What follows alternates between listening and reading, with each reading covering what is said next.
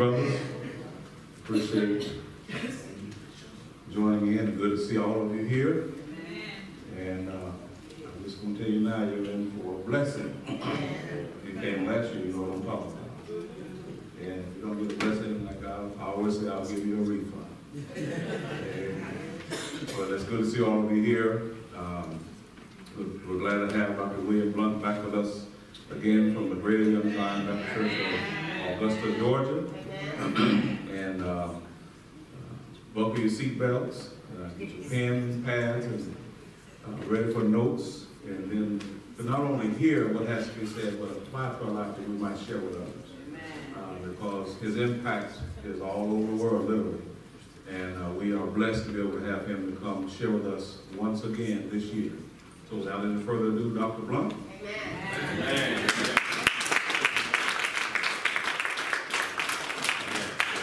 Let the words of my mouth and the meditation of my heart, Lord, let it prove to be acceptable in your sight. For Lord, you are my strength, and Lord, you are indeed my Redeemer. And this we ask in the name of Jesus the Christ, we pray. May we all say together, Amen. Amen. To the pastor of this church, my brother, much beloved, and uh, your, your great pastor, and Pastor White, Amen. Amen. Amen. And also my little brother over here, Dr. Poole. Amen. These two men are very important to me, man. I, I get excited about coming here to see them. So we just thank God for our friendship and our brotherhood. We just laugh the whole while we're together. Amen. Just have a wonderful time with each other. They the ministers we want to honor you tonight. Beautiful wife, Sister White. Always good to see her again uh, on tonight as well.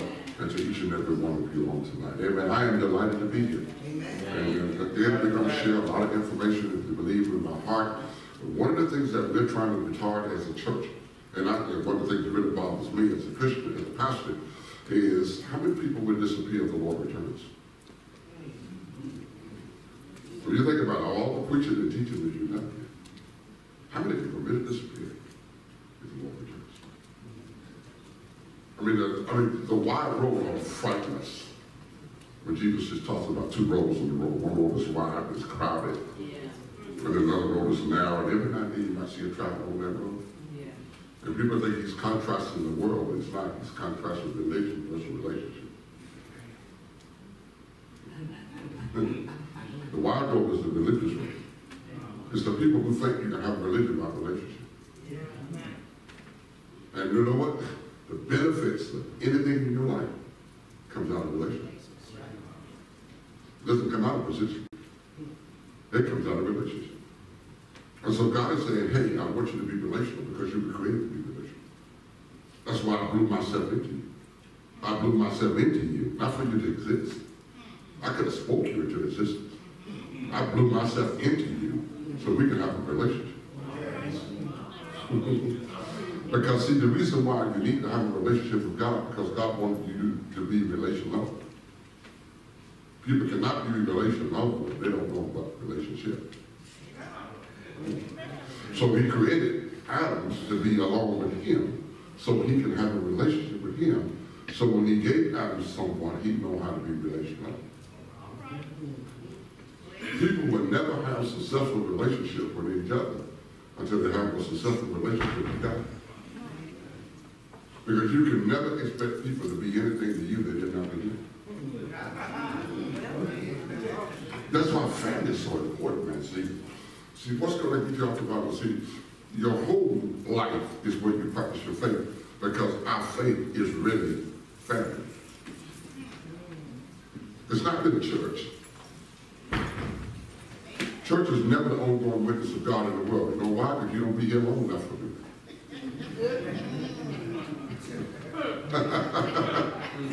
Not for you to be the only witness of God in the world. The only reason why you go to church is to get equipped. This is where we get equipped. Amen. So we can practice faith. We practice faith. We get equipped here. Church has one basic thing. It's, it's, it's the ministry of provocation. And what I call it by provocation is there to provoke you to love and to good works. You get here to get provoked. You go home with a promise. You never make Christians at church, you make hypocrites at church. You make Christians at home. Because the real you is at your house. if you look at, if you ever look at the Bible, really study the Bible, everything was related, was set up by family. I mean, everything that's on the mind of God has always been family oriented. Everything. Even the Godhead. Remember I told you last year? You got three components of the Godhead. You got a Father, Son, and Holy Spirit. You got three components of the earth family. You got a man, woman, and children. How they connected easily. The Son came out of the Father. Guess what? The woman came out of the man. The Son and the Father get together, they become one. The man and the woman get together, they become one. The children come from both the man and the woman. The Holy Ghost come from both the Father and the Son. All three made one God. All three made one family. So what God did, he put them out on earth to show us what heaven was like. It's amazing. That's, that's exactly the way it was. Every one of you in here were born in a family.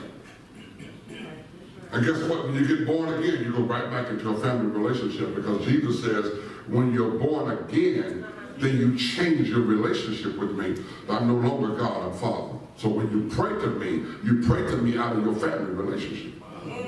So that's why you pray, our Father. Everybody can call him God, but only believers can call him Dad. You gotta have a relationship and he never said that many as believed him would be belong to him. He said many as received him. See, the problem is a whole lot of folk believe. Even the devils believe, but they trust. See, we don't have a believing problem in Augusta. We have a receiving problem. What I mean by that is that it's not that you don't believe what I'm teaching, you just don't welcome it. That's right. See, the receiving means to welcome it. Amen? You're teaching good stuff, but they're saying that ain't going back to the house for me. I agree with everything you said, but that, that is not welcome right now. It's, it's a receiving process.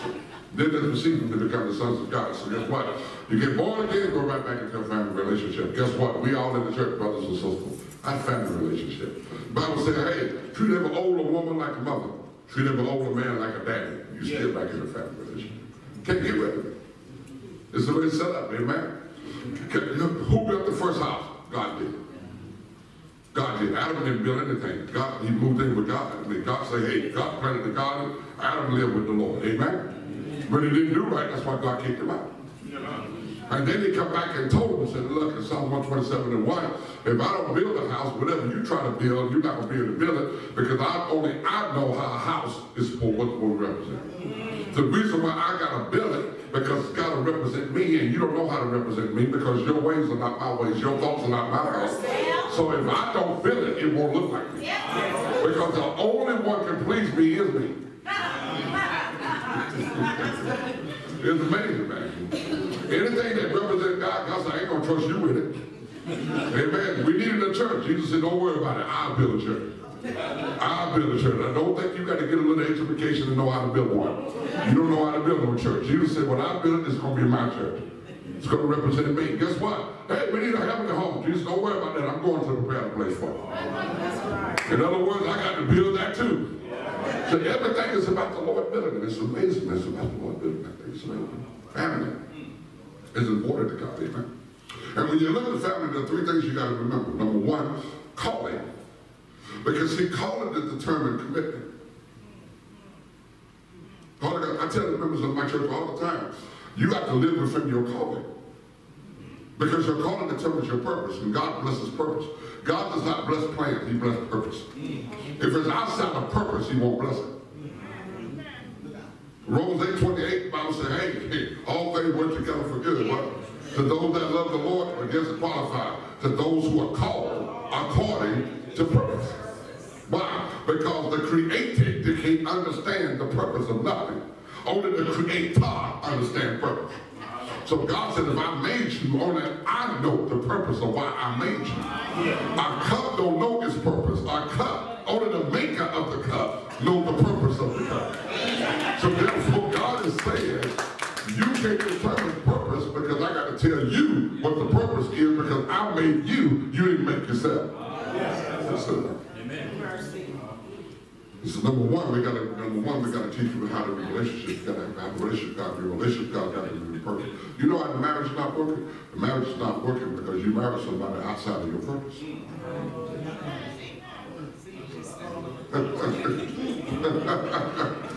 really, really, really. Because see, you don't understand. He meant when he says in all your ways. Acknowledge him. And he would do what? And not the key word in that is direct. You know what direct means? Whenever you direct, you don't have a clue where you're going. That's why they give you direction. Direction. If you know where you're going, you don't need direction. So God said, if you know what I was going to do for you, you wouldn't need direction. You don't have a clue what I want to do. Really, when he said direct your path, actually that phrase means the the path. Would mean that there is no path until God the path. That's what the old folk had it right when they said he'll make a way out of no way. I wish I had somebody. I learned a long time ago, man, you never know what you want till God give it to you. And when God give it to you, that's when you figure out that's what you've been wanting all along. God would choose what you would choose if you had a sense enough to choose. You got to make sure that you operate within your calling, man. You got to operate within your calling. The first thing you need to understand, well, what is the calling of your life? Well, number one, uh, those of you who may be single in here tonight, you got to understand that you really have a calling of singleness. So in order for a person to be single, you have to be celibate. And if you still got an urge to merge, then single living is outside of your calling. That means you will never fulfill God's purpose single. Because it's outside of your calling. See? It's outside of your calling. See? That's why you have to be gifted to be single. Or be of an age in life. But God has taken care of that either psychologically or physically. You know some of y'all, y'all wait till you get old and get religious. It's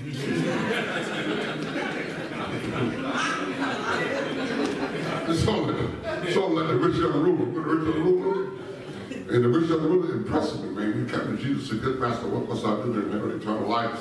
And Jesus said, why call us not me good? Ain't nothing good but the Father. And the rich young ruler said, he said, well, what do I need to do? He said, have you kept the commandments? And the young man, this young man said, I've kept all the commandments from my youth.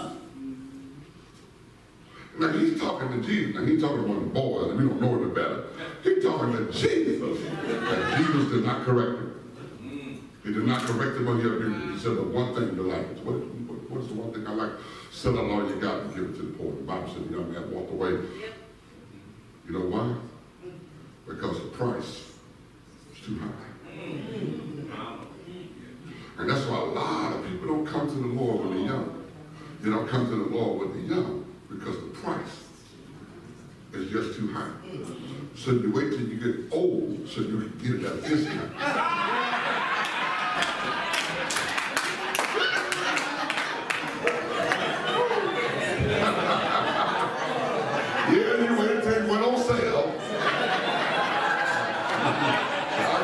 Jesus, amen. I'm willing to come down here, man. But I used to go all night, and it take me all night to go.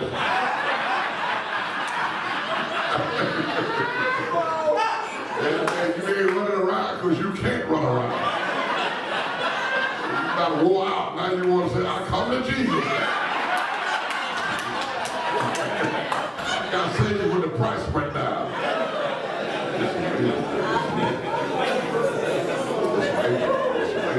later. I tell you, man, it's like I live in kind of family, very serious thing, very serious. Very serious thing. God takes it very seriously.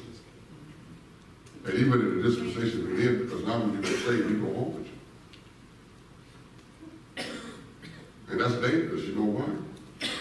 Because if he goes home with you, the relationship you have there is the relationship you bring here.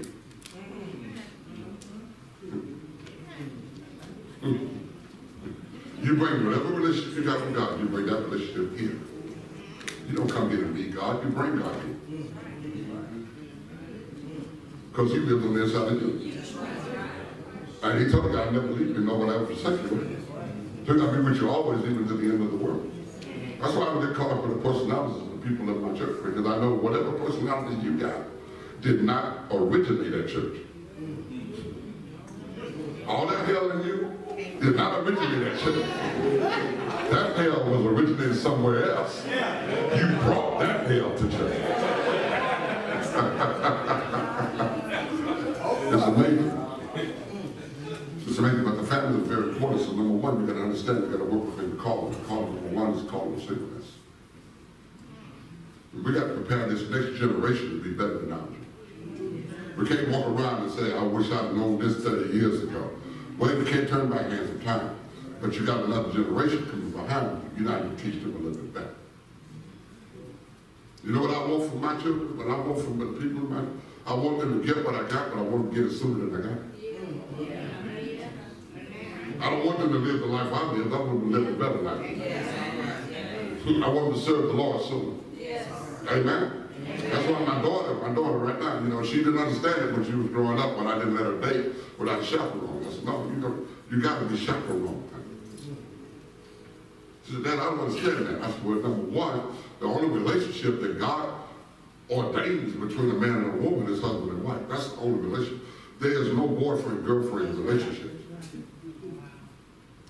No sugar daddy, no man on the side. Nobody to stop by every now and then, no booty calls.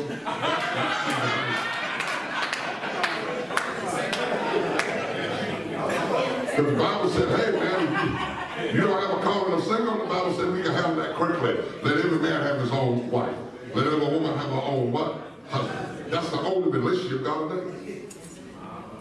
See, we got to stop thinking the way God thinks. We can't think the way the world thinks. But the culture thinks. We got to think the way God thinks. So my question with her, are you ready to get married? She said, no. I said, what do you need a man for?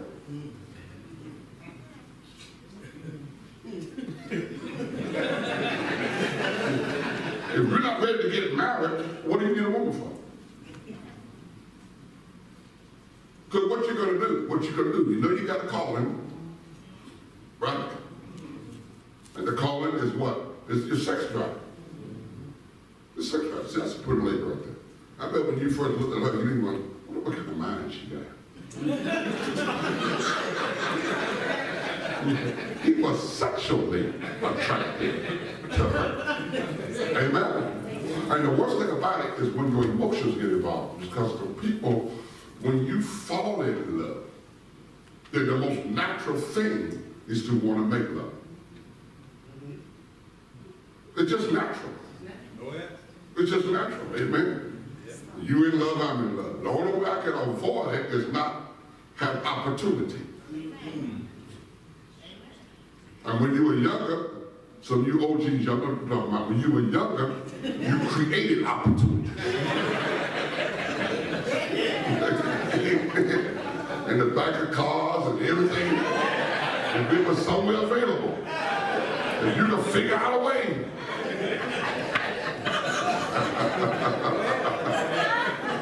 Amazing, man. It's amazing. Fornication is a big thing. And the Bible said it's a grievous sin because you're sinning directly against your body. Meaning you're sinning directly against the temple where the Lord got to live. The Lord said, do you understand I live here?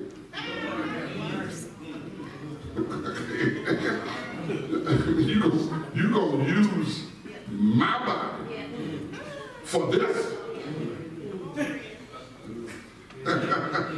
And if you're a saved man, you're in double trouble because see, saved man got to represent Christ. So how would man would be able to convince God as Christ you led a woman into sin?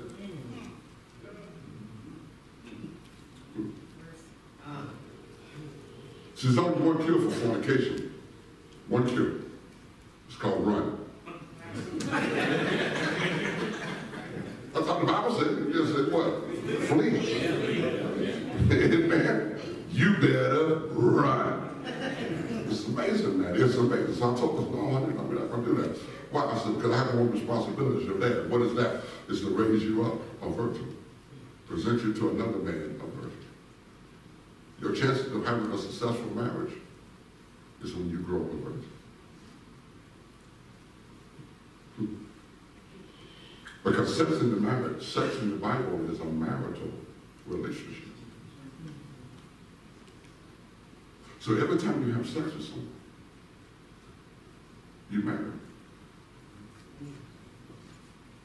Because their spirit intertwines with your spirit. and you become one with it. And this is why marriages are not successful. It's because we've had too many relationships. You see, Joe can't get along with you because he had to get along with Frank, Bob. Everybody you slept with, that person's spirit is still in you. And that's why we get so some arguments and so many fights, because see, if I hit a Frank spirit, then you're to come out of a Frank me. and then I wonder, where all this coming from? so see, Frank, Frank went to Walmart and see he was coming right back. He ain't never showed up. now I get ready to go to Walmart, you go crazy, amen?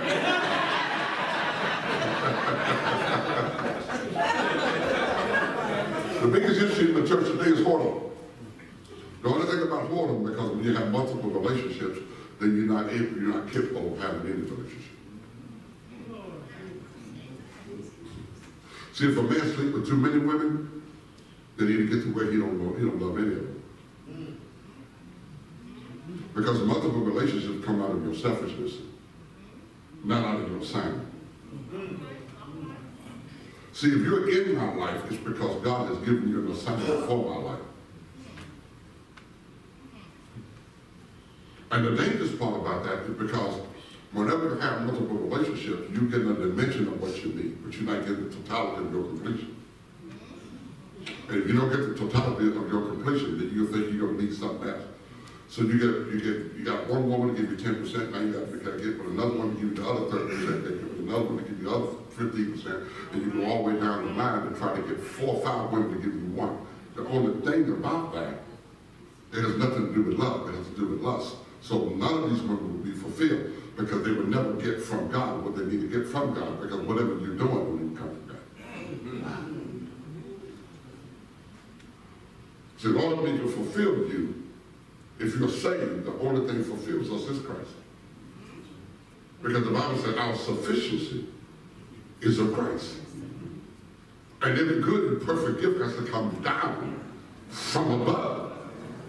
So therefore, it's a very important to understand a single person, we got to teach our kids that. We got to teach them celibacy. They have to teach them celibacy. Because one of the greatest things, man, that hurts relationship is your past.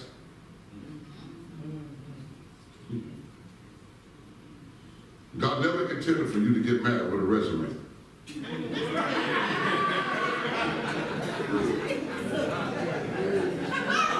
it's your past. So very important, as a single person, you have to understand that. A single women, especially young women, need to understand. Because God holds you to understand the value of relationship. The reason why God had to give Adam a relationship, because God knew he created a woman that would demand it.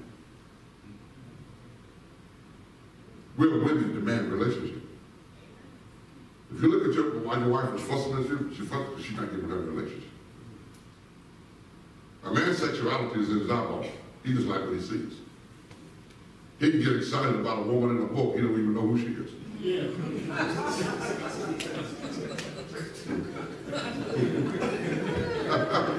but a woman needs something else. So a man can be physically moved by what he sees. A woman has to be emotionally moved to be responsible. That's right. That's right. A real woman does. So what she's saying, you can be in a relationship. You'd be surprised at how many women will tell you there's a whole lot of women you ain't even got yet. because you just won't give me the relationship I want. If you know how to love me right, there's a whole lot of me you ain't even got. Amen? Because a woman will piece herself out to you based on the investment you give in her. And then she'll then she'll get mad with you that she can give you more of you, of her, than what she's giving you. Yeah. sisters. Oh, yeah. but on the flip side of that, sisters, you have to train us to be relational. You have to train us to get what you want from us. Really do. See, the only reason why you got a lot of whorish men because you got too many cheap women.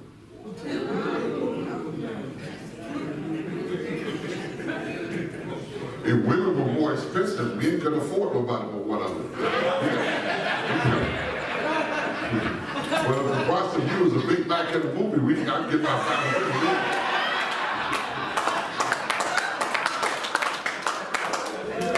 You got to tell the joker, you sure you want this and you sure you want this. You know what this gonna cost you? You know what kind of sacrifice you're gonna have to make to roll up on this? But they say people, people value you based on what they sacrifice for you. They really do. They really do. That's the difference between how you treat a $65,000 car and a two car you pay $200 for. You pay $200 for it, you got chicken bones everywhere, stuff all over everything. You don't even wash it. $200, I ain't even washing that. You pay $65,000 for a car, we don't eat in my car. Don't eat in the car, don't eat in the car. put that car in the garage. Pull that trap you in, put that out there.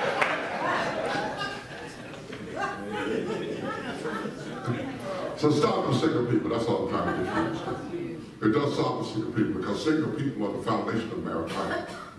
The American institution cannot work until single people learn how to relate to God. Because they have to bring that relationship to God to marriage. You have to bring that to marriage. And a lot of people are not successful married because they weren't successful single. They brought a deficient relationship to God into a relationship where they're supposed to be representing God. And that's why it don't work. You know what marriage is? Let me tell you what it is. Marriage is the first institution. Marriage is the first ministry. And by marriage being the first institution, all other institutions are dependent on the foundation of marriage. Because if the marriage don't work, it affects every other institution in society. Because it's the foundational institution. And that's why the enemy works overtime. He don't care about the church. Devil don't care about the church. He goes to church. They go to church. And let me tell you something. You can't hurt that devil's feeling. You tell I bind you, Satan.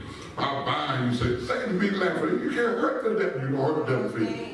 You could be in the choir singing a song about him, and he in the choir singing it right there with you. He playing the tambourine. I told Satan, get thee behind.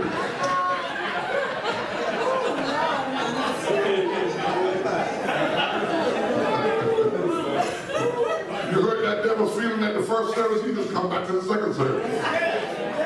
Amen. Y'all are just slinging all everywhere. As that oil dry, he come right on back.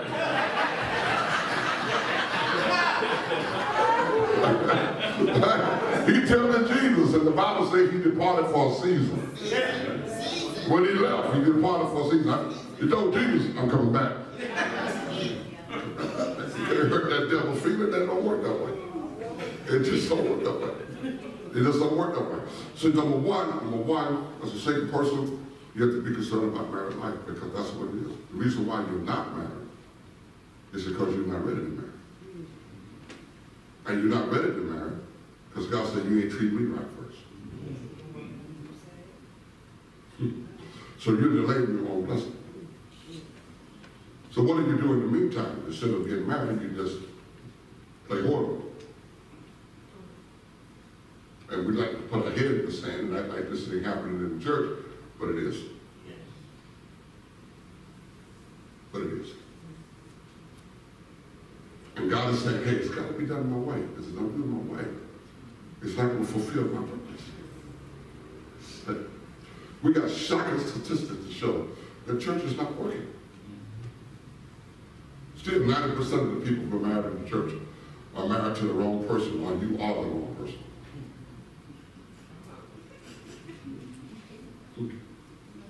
Because we have not learned that God has to make the selection. He has to make the selection of who he wants in your life. You can't look at nobody and choose what you want. God has to bring that person into your life. And the reason why you don't get the right person is because you're not the right person. So in order to be able to God, for God to give you the right person, you've got to become the right person. Whatever you want God to give you, you've got to become that. If you want God to give you a good friend, then you find somebody to become a good friend too. When you become what you want in somebody else's life, then God can trust you with that. Oftentimes, God will bring people into our life so he can show us what our life really is because we have a tendency to lie to ourselves all the time. You know, lady come tell me, I don't know why I keep attracting all of these trashy men. So maybe because you're trash. and trash, no one trash look like. So that God bring people in your life to show you what's wrong with you. Amen. We got, you know what? We have multiple marriages, multiple marriages. People say, oh, oh it's an awful thing when people have multiple marriages. Not necessarily. Because some God allows you to have some marriage, not by design, but for development. Some relationships God allows you to have to develop you for the relationship He really want to give you. But since you're so hard-headed and stubborn, amen? Some people have developmental relationships.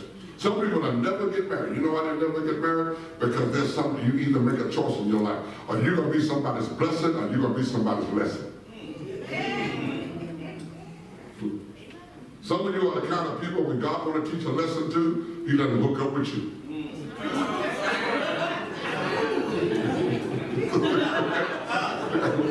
when she gets through with you, you're this next one. when he gets through weighing your behind out, I got somebody that will help you to understand what I'm saying. Some of you are just punishment. That's all you are. You ought to have a warning sign on you. Getting with me is hazardous to your life.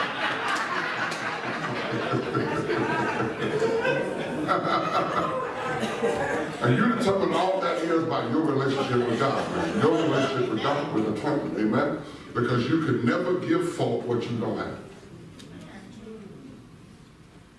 Most people give you what they got. They give you hell because hell is all they got. They can't give you peace because they, they, they don't have peace. So I'm, not, I'm only giving you what I got. Amen. That's the way it works.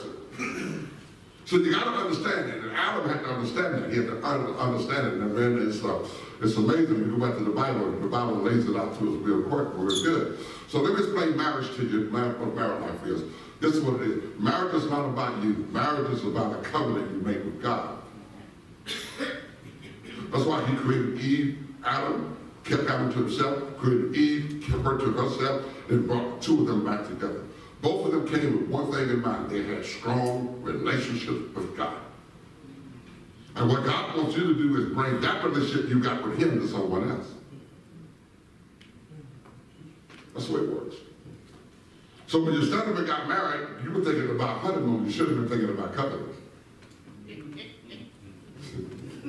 because covenant is saying, Lord, I'm promising you that I'm going to represent you into the life of another person so that that person will recognize Put it this way. If you meet somebody in your life and they act like they want to get attached to you, you got every right to ask them, what are your assignments? I mean, why did God assign you to me? What would I get if I got you?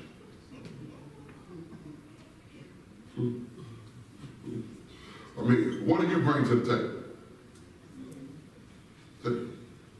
And so when marriage is stand before God, when you enter into that unconditional covenant, I don't do traditional vows, that's stuff that people read. And the vows is done. A vow has always been to the Lord. A vow has been to. A vow been to the Lord. You make a vow, you make it to the Lord. Amen? You make it to the Lord. Amen? And part of the vows to be is what God demanded of you to be as a wife. And what God demanded you to be as a, as a husband. So our vows say, hey man, you promise? Did you promise to love your wife like Christ loved the church? Based on the understanding you receive in the counsel? Do you promise to be the head of your wife like Christ is the head of the church? Do you promise to be subject to your husband as the church is subject to Christ? See, when you make those kind of vows, then God got to empower you to be able to keep that. Because those promises up to him. You make covenants, not with individuals. You make contracts with individuals. Because contracts are conditional. Because individuals are conditional. That's right. You ever buy a house?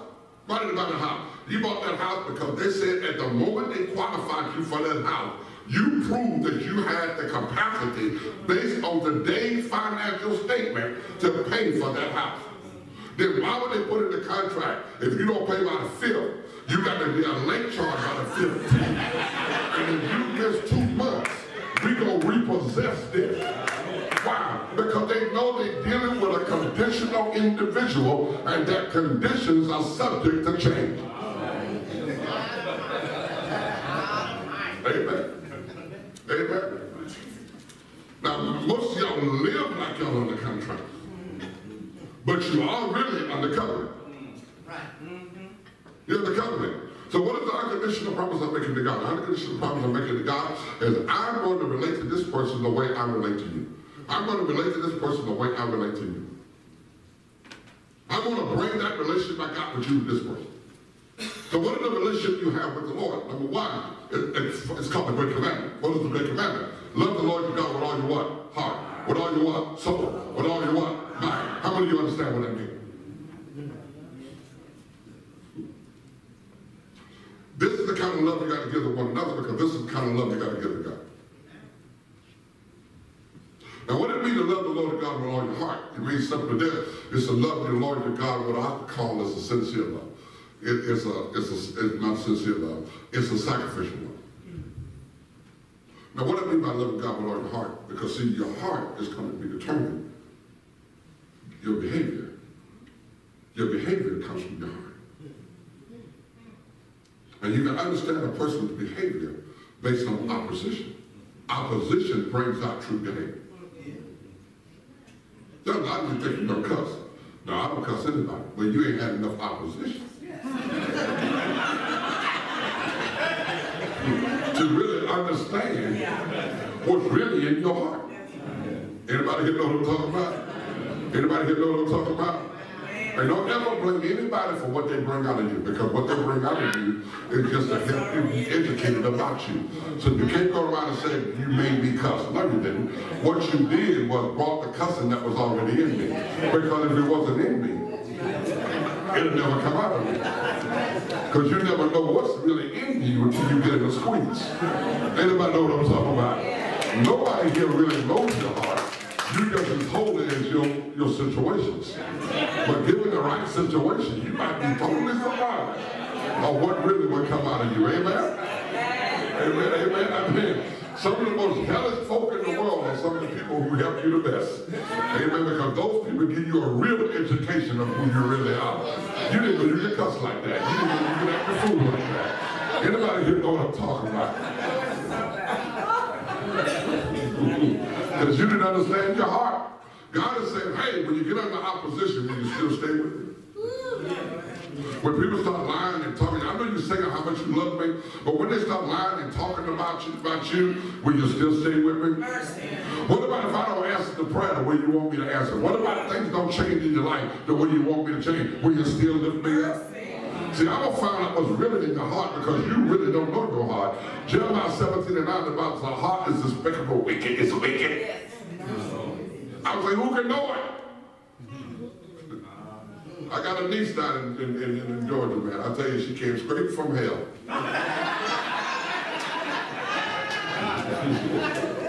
and she was a really good on my I'm telling you, she, you ever find somebody to know how to give them the last nerve you got?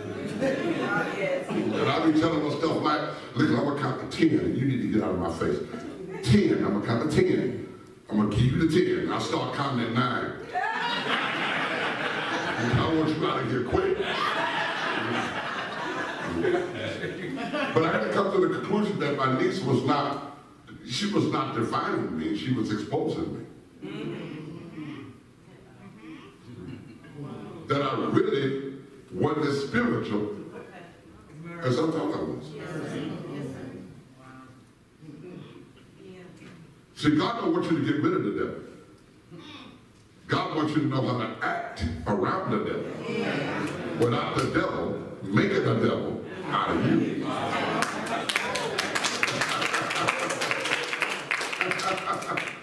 Amen. So it's amazing, man. Second thing is, you know, you just got you got to have that. You got to have that. That's good. You got to have You got to have that kind of thing. It's really a sincere love. I mean, sincere. It's got to be sincere. Second is sacrificial. Sacrificial love. I you this last year. I'm to get to the point where I'm going to. Sacrificial love is two-dimensional. Because it is what we call your soul. Your soul. Your soul is your mind, your will, and your emotions. So that encompasses your soul. So here's the problem with sacrificial love. Sacrificial love about two things. It's a decision you have to make whether you're going to give me the love I want or whether you're going to give me the love you want me to have. See, if you don't learn me, you know you can't love me. And if you don't love me, you'll never live with me. So in every relationship, you have to spend time learning the person so you know how to love them or you'll wind up giving them what you want them to have rather than giving them what they need. Amen. Most people in marriages today live with unrealistic expectations. That's right. Trying to be married to the woman you want instead of being married to the woman you got. Trying to be married to the man you want instead of being married to the man you have. Because see, you can't raise them. They're too old to raise. Yeah. And you can't change them because you didn't make them. That's right. you just have to learn how to deal with it. what you learn. Which uh, and that's how you have to relate to one another. You really have to relate to one another. Amen? Amen. If I come to your house, beautiful young lady here, and you invite me to dinner, and I tell you right up front, I don't eat pork. I can't. I have pork. When I get to your house, you got spare ribs, pork chops. Collard green with ham Amen. Butter beans with scrickling. Now, did she fix me dinner? Sure she did. But she fixed me the dinner that she wanted me to have. But she didn't fix me the dinner I want. So it was like giving me no dinner at all. How many of you love the Lord? Good. What kind of love do you give? He said, don't forsake the assembling of yourselves together.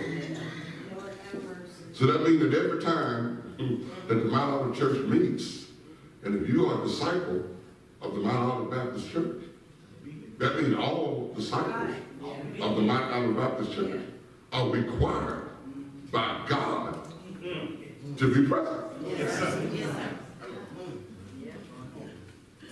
True. So what happened when you decide not to come?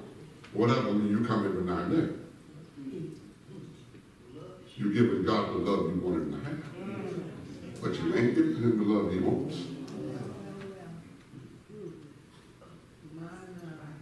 Which is like not giving him any love at all.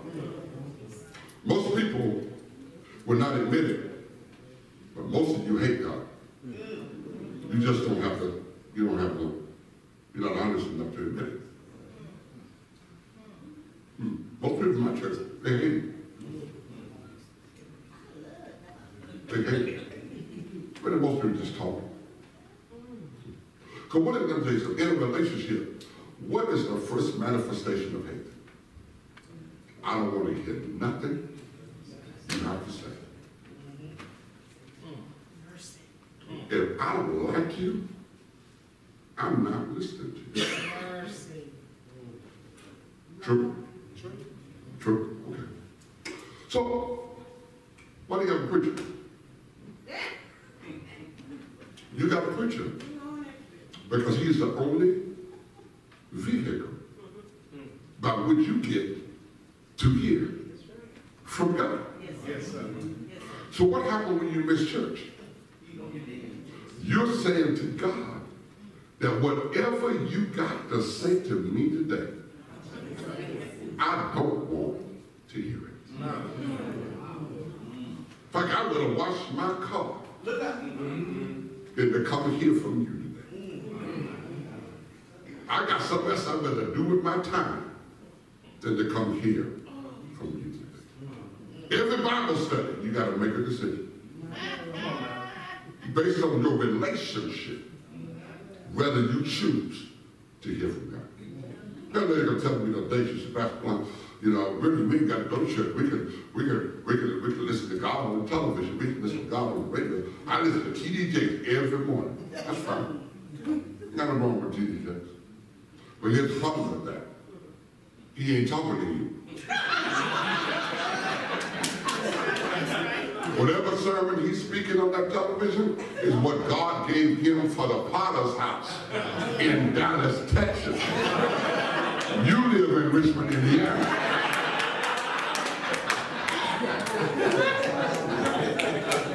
So whatever he got to say to the folk at Richmond, Indiana at the Mount Olive Church, he's only going to tell Dr. Derek White. you imagine listening to somebody say something to their wife, you say, I'm going to go home and talk to my wife like that. You got to get yourself heard. so it's a dangerous thing, man. How would you feel if you married to somebody and you said you want to talk to them and they tell you, I got something else out there. Mm. You got to understand what y'all be saying to God. Oh, God's always like that now. Mm. He said, my sheep know me. And my sheep hear my voice. And a stranger, they won't even follow. So if you don't come to here, because you really don't love him, and you're lying to yourself. See, the issue is not missing church.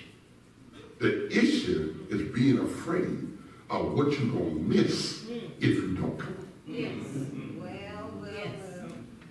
You can imagine, I've been praying about something. God ain't heard my prayer. God said, well, I talked about that last Sunday, but you decided.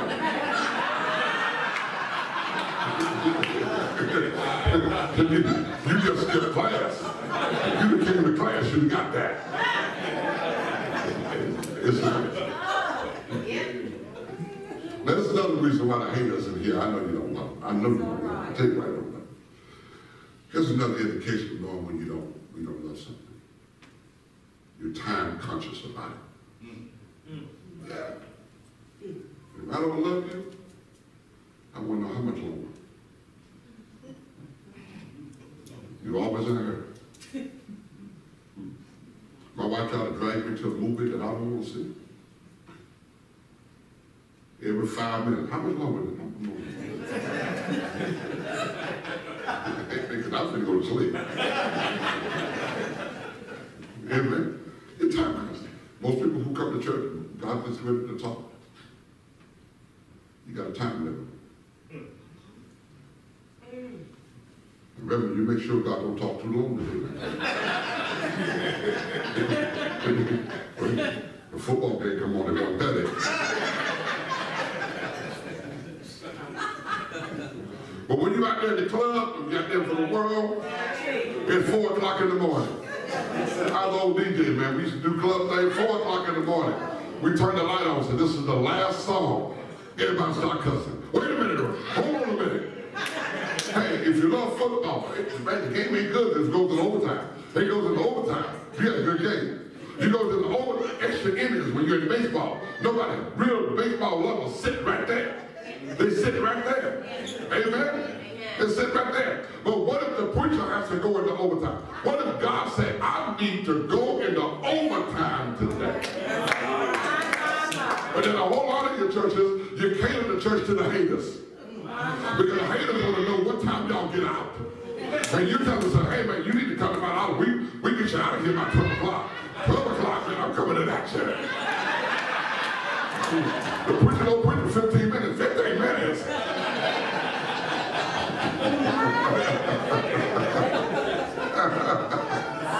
I tell my members all the time, there's, there's only one way you can cut a sermon down. You know how to preach not to preach so long? I tell them all the time, I don't preach as long as you sin. I promise you, you sin much longer than I preach. Amen. And the way you can cut a sermon down is cut the sin down. You cut the sin down, you cut sermons down all the time. Amen. Everybody that start tithing and paying their offerings and doing whatever they need to do financially, you, now, you don't eliminate the stewardship sermon. That's the sermon you ain't got to hear no more. Amen. It's amazing, man, because because of the people say the way they do, that's why the preacher has to preach as long as he preaches. Because the preacher don't preach a catered meal, he preaches buffet. And you got to understand, you might be full, but somebody else got to eat it inside of you. So we got to try to feed everybody that showed up today.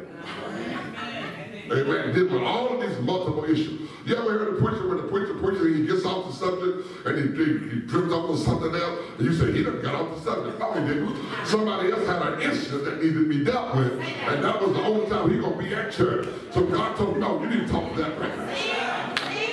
Amen. You need to go ahead and get that shot in that guy. Amen. He just listened to the Holy Ghost. That's all he's doing. It's amazing. It's amazing. It's amazing. Amen. Last thing's called sincere uh, love. Love that you might with all your might. Wait, no, let's go back to the other part. The other part has to do with what I said, that you know, you, when you're loving someone, you got to get what they want, not what you want to have. The second thing, love is choice. You never demand nobody to love you. The love they give you is the choices they make for you. So, okay, how much you say you love me? I know you love me by the choices you make about me.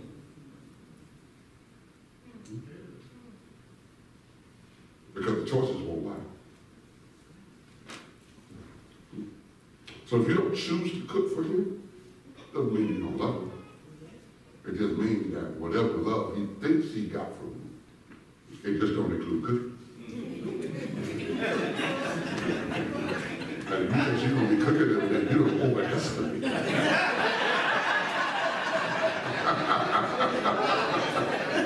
Evidently, you don't overestimate your you think I'm going to do all that? You don't overestimate it. And that's what you're telling the Lord. Lord, you think I'm coming to church every Sunday? Whatever love you think I got for you, God, you don't overestimate that. Because that's not my choice.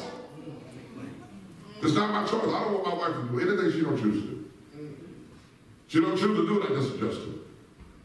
But you see, if you make them do it, it's not love, it's law. Laws are given to people that don't love. Amen. So if I got to say, I'm your husband, I demand that you go in there and cook. Well, she might cook, but we don't love in it.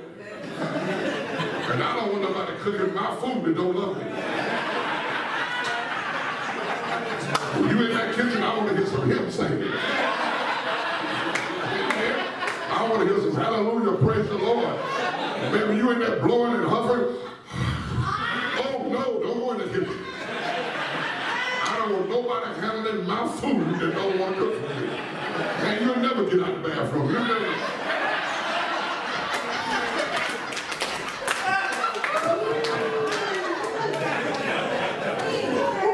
Because if you don't choose to do it, I want to. That's why you got to be secure in your relationship with God so that you don't make a God out of anyone else. My job in my life is to love my wife. That's a ministry from God I'm giving to her. But she's not my life. I don't trust nobody with my happiness but me. Amen. I don't think nobody can beat me loving me. I don't think nobody can treat me better than I treat me. I'm not going to trust me with nobody. Amen. So if my wife don't want to go to the movie, I go by myself. You want to go to the movie? I don't feel like I see when I get back. you going by yourself? It don't make no difference. I have to watch the movie by myself. it ain't like I got to borrow your eyes for five All oh, you gonna be doing is sitting in the next seat.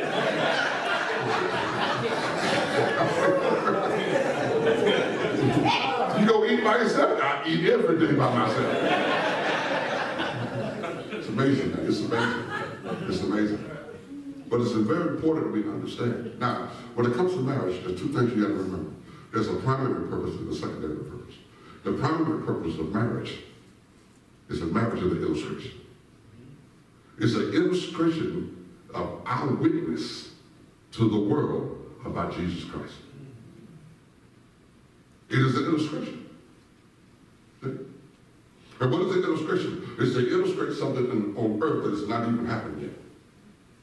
And that is the marriage of Christ to the church. It hasn't even happened yet. So God uses a human marriage to be an illustration of how deeply he loves his church. And there's anything that we do right in church is relationship. All this other stuff we doing trying to impress the world, the world doing better than we are. You're not going to impress the world with a building, man. They got skyscrapers. You're not going to impress the world with great speaking. They got their own speakers. You're not going to impress the world, man, because you raise a little bit of money. The world on the banks. You're not going to impress the world with what? Music. The world, look at the music the world got. But when we show them how to do relationship, then we show them Christ. Yes. We show them our faith. Yes. We show them what it looks like. So it is that the husband is the head of the wife, like Christ. It's the same as Christ. He's an illustration of Christ. Men, love your wife like Christ. Yeah. Women, be subject to your own husband. What? So like the church. So what is a marriage? Hey, showing the world how Christ loves the church, how Christ operates with the church. The primary purpose. The secondary purpose is for completion and cooperation and cohabitation and all the other, those are secondary purposes. And oftentimes we spend more time in the secondary purpose and no time in the primary purpose. If we got the primary purpose right, then the primary purpose will help us with the secondary purpose. The secondary purpose is about earth. The primary purpose is about heaven. You can never enjoy earth if you don't have heaven in charge of it. So the question is, is, is when you're married today, how well are you illustrating Christ and how well are you illustrating the church and how well? What are people saying about? And that's how you get the kids saved, see? You get the kids saved because they get to see heaven on earth in your marriage. They get to see Christ loving the church in their home. And see, this, this building can't do that. Why they can't do that? Because whatever you're teaching the children in the church, I'm telling people all the time, there is no such thing in the Bible as youth ministry. Youth ministry is not a concept of the Bible. There had no youth department. There had no youth department. And the reason why, because with children, their, their training is more caught than taught. They're looking at you. That's why they get older, they want to go to the church. They get older, they want to go to church. No, I don't want to go to church because they're looking at you. Big time preachers, big time deacons, but they know the horn around you doing. And they know how you treat each other. And you know the lives you live. And they watch you doing all this singing, all this praising, all this jumping up and down, but they don't like what they see. And they're never convinced that what you got is real. My, my, people talk about evangelism, man. Evangelism got to take it to the streets, got to take it to the streets. Who else said that? take it to the streets. Streets introduce, but they don't say. You ever notice in the Bible, when God looked at things, he looked at it in families. Everything was genealogy. It's what your family. This passed down to this person. This passed down to this person. So you want you to be Christ, you want her to be the church. Is what's going to happen. The children get to see Christ in love with the church. She get to see Christ in love with the church. Amen. So they watch that. They watch that example. They watch that. And those boys get to learn how Christ acts through him. Yes. Those girls get to learn how the church responds through her. And then guess what? Every girl want to marry Christ every man, boy want to marry the church. So they go looking for what they within.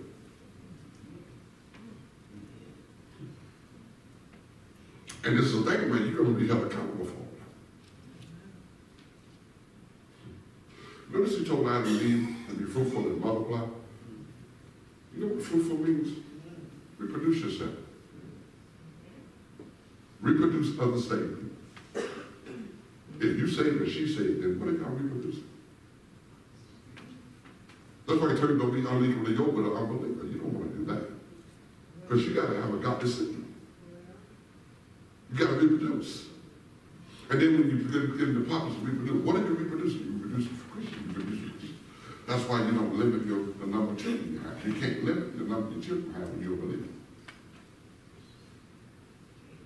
You know what birth control, control is? Satanic genocide. It's the enemy convincing you to not perpetuate the kingdom of God by destroying any future weapons that can come out against him.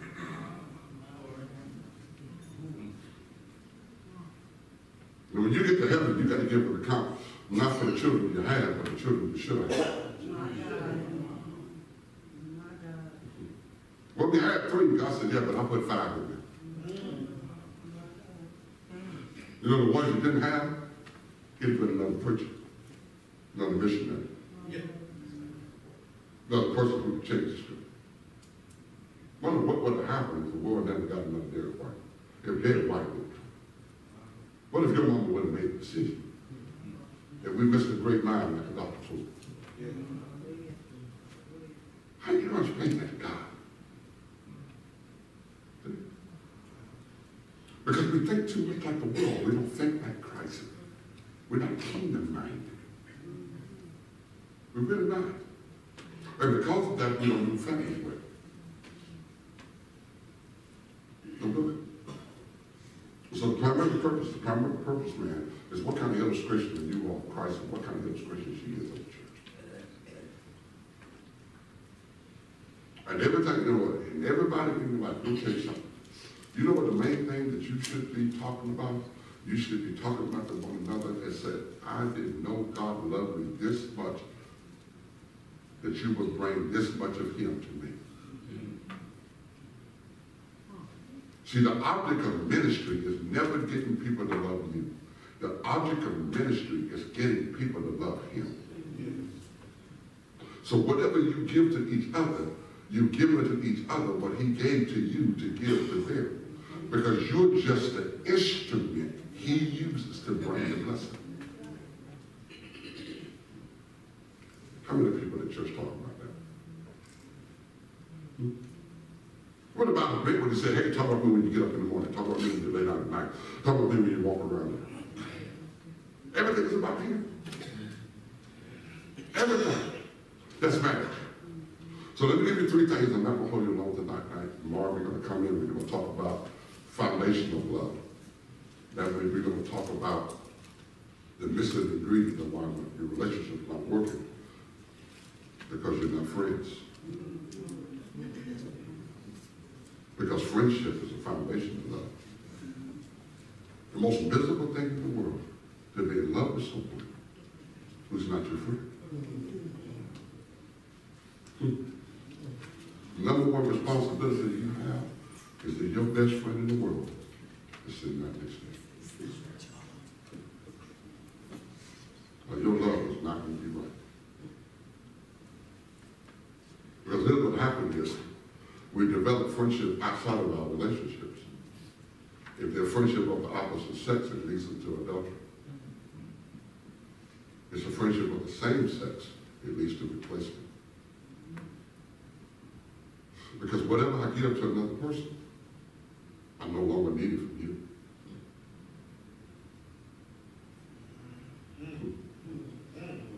If she spend three hours talking to somebody else, that's why she ain't talking to you.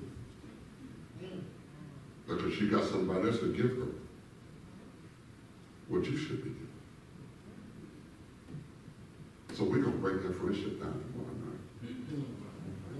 How many of y'all think we need to hear that? Because it's bad to be married to somebody and be your friends. Because there are a whole lot of me that's covered up and you don't even know me. And then the relationship become more situational. Before I give you the three things I want to give you today, let me warn you about something. Most people in here are not married. Most people in here are fornicators with license.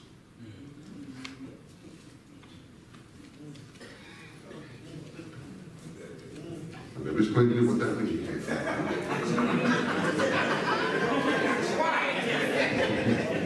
because the average person will say to you, well, we got marriage license. But marriage license don't make you married. Now, maybe it does, in, uh, maybe it does here, but in Georgia, it don't. You get a marriage license. The only reason why you get a marriage license is to get the legal rights of married people from the state. True? So when you get a marriage license, are you married? No, you're not married. You're not married till the preacher signs the license and lets the state know that a marriage took place and the date it took place. So what the state winds up doing is recording what the preacher said. So now you done got the preacher lying because you were lying.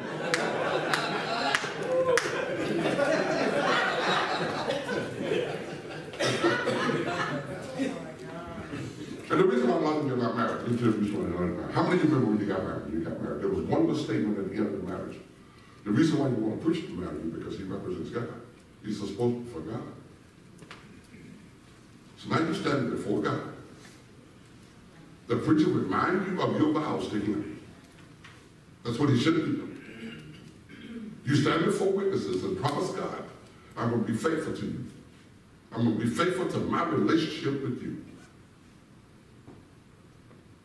Because if anybody can change my behavior, they just replace you. So you can't say I would have been a righteous man if I had a righteous woman. And you can't say I would have been a righteous woman, God, if you'd have gave me a righteous man. So God said, evidently the man was more important to you than me. There's some decisions you can't make because God said, what about the covenant? What about the covenant? What, about what you promised me? True. It's at the end of the ceremony, maybe not here, you know, this is the Georgia, preachers make this statement, and what God has joined together, let not man put asunder. How many of y'all remember that? Okay, how many of y'all know what it means? Okay. You don't stood before God. You said you know the Lord, right? You promised to covenant a relationship with God. Then he stands up and says he knows Lord. He got a promised relationship and covenant with God. Now you're going to bring that relationship to one another under the direction of God. The word join in the Bible means built. How you build something? You join stuff together. That's how you build it. You build it. So God says, I got the blocks. And I'm going to bring them through her, and I'm going to bring them through him, and when I get through building it, it's going to be marriage. Marriage is what I build. And each of you got to look at your relationship and can you honestly say, God built this. This is what it looks like when God builds it. Well, if it don't look like God built it, who did?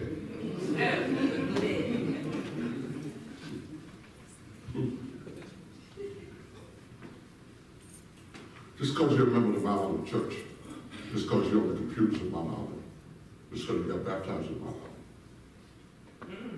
does that mean you already go to heaven? Then how do you not come to the conclusion? Just because you got a license from a man that you automatically marry. Particularly if you say you're a believer. So the world is watching and says, is this what it is? Then why do I need to be a Christian? And you're looking at one another, are you sure this is what God sent you to make? You, you sure God has given me this? You sure you got your assignment mixed up? This is what it's like? This is what you promised to give me from God?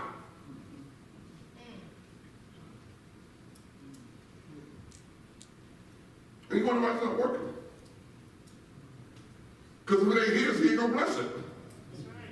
That's right. I'm gonna bless it if it's mine. If it's not mine, I will not bless it. Uh, you can play hypocrite and play church all you want to and play house all you want to and play this all you want to. God says, when I look at it, I don't see it. Because it don't look like it. It's like critical this gospel. It's critical. It's critical. Three things I want to tell you, I'm going to leave you alone. Hope I didn't bore you tonight, I hope I didn't bore you. Y'all getting quiet, I can hear that. Three things, that- number one, number one. The first thing is, when God put Adam and Eve together, he gave them an assignment. There was an assignment he did. And what is the assignment? It's in Genesis 1, 26 and 28. In Genesis 1, 26, verse number 28. What is the assignment that God gave him?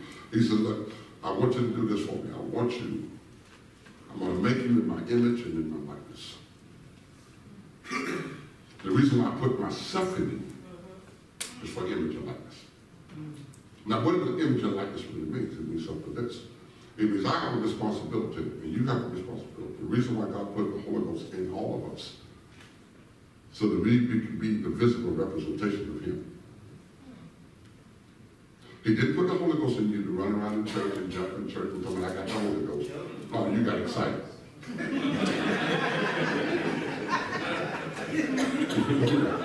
the Holy Ghost is the visible representation of Christ. In other words, people should look at you and see Him. That's why He told you to sacrifice you so that He could be saved. That's why Paul said, I crucified him, I died daily. Because somewhere in my life, I've decided to kill me so He could. Deny me so He could be seen. See, people ought to, to look at you and know you've been with God. Amen. Amen. You can see it. You can see it in their face. You can see it in their action. Why? It'll show up just like sin shows up. McCain was in McCain was in the garden. And Cain to kill Abel. And God, one of came and said, Cain, what's going on? And Cain said, everything good. Said, let me ask you a question. Why is your countenance falling? In other words, why are you looking like that? See, you stay in sin long enough. You look like the sin you in. Mercy. You ain't gotta have no liquor bottle in your hand. Drink that liquor long enough. And you'll get a liquor drinking look all over. People will look at you and say, that's a really drink liquor. You ain't gotta let, you gotta let nobody see you tipping and creeping and all the stuff you're doing. You'll get that horse look on you. And people will look at you that's a street woman right there. That's a street man right there. Because sin affects your look. Yes. And so I want the Holy Ghost to live in me because I, I need to get a certain look. And the other thing I love about the Lord, you know I love about the Lord so much? Not only he changed my life, but I thank God he changed my look. Yes, sir. Because I don't look like when I came out of. Amen. You don't look like the liquor you used to drink. And all the stuff you used to do. Folk can't look at you and saw you were that kind of person. People think now you've been holy all your life. So what you want to do, image means, image means that no, there's something different about you. Yes. I said on the airplane, I was reading on the airplane, reading on the airplane, and the guy was sitting right next to me, said, you know what, I perceive you're a preacher, aren't you? I didn't have no clergy clothes on. I had no jogging suit. He just something about your look. So when people watch you,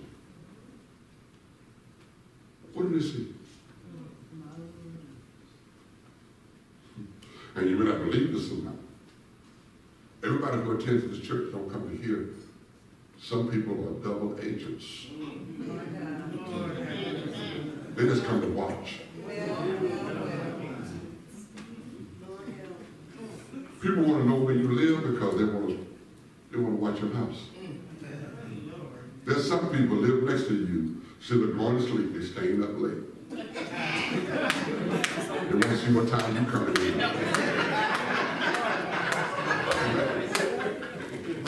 Look at people's conversation when they leave church. They don't talk about the word. Did you see brother so and so? How far his wife was sick from here today? that ugly purse she had. And I'm sure she had stuff under the pew, but I saw him. I saw him. It's amazing, man. It's amazing, man. So image is important. man. That's part of the assignment. The assignment is image. It is image. You got to watch what people see. You got to watch what they see. And then what do I mean by likeness? Likeness means they got to carry out my agenda like me. Like means the same as me. Whatever they're going to be doing is not them doing it, it's I'm doing it. I'm calling the shot. Because what makes you saved is who's running your life. Who's calling the shot in your life. That's what deliverance is all about. It is not about knowing Jesus, jumping in the pew, reading the Bible every day. At the end of the day, who's calling the shots in your life? That's why the Bible said, why do you call me Lord and you ain't going to do what I say? That's why the Bible said obedience is better than any sacrifice you could ever make. I need to call the shots in your life. Who's running your life? Who decided where you live? Who's decided the car you drive? Who? Decided that job? How many issues do you really take to God? See, most of us got a selective obedience. We pick and choose what to do.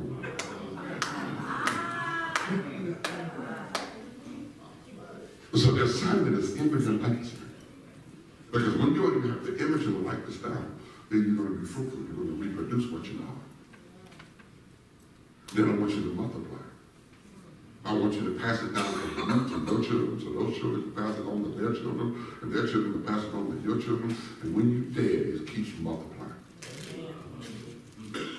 And then I want the earth replenished with that. I want you to replenish the earth with that. That is the assignment. So the question is, no, I don't want you to be married. We've been married for 50 years. Folk will be in hell longer than that. That don't mean nothing to God. Longevity don't mean anything to God. If it's wrong, longevity don't mean anything to God. And so what I'm talking to you today is how well you represent him. How many women, man, looking at their husband and see Christ? Sarah saw it, man, so bad. She saw it, she called him Lord.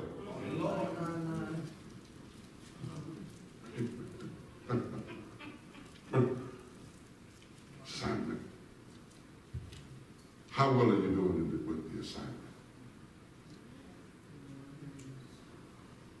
Hmm. Sisters, how well are you doing with the alignment? Hmm.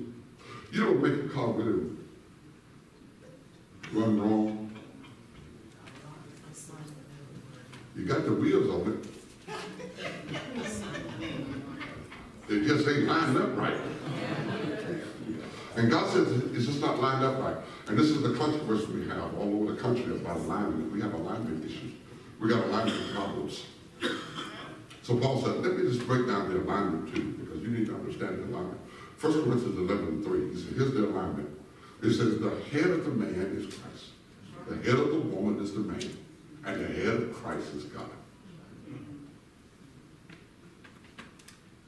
Now, what does it mean by head? People say, what does head mean? What does head mean? Does it mean boss? Well, this is what head means. The head is the operation center for the body. The body does what the head tells the body to do. Do I have any medical people in? Any, any medical here? Anybody been to the doctor?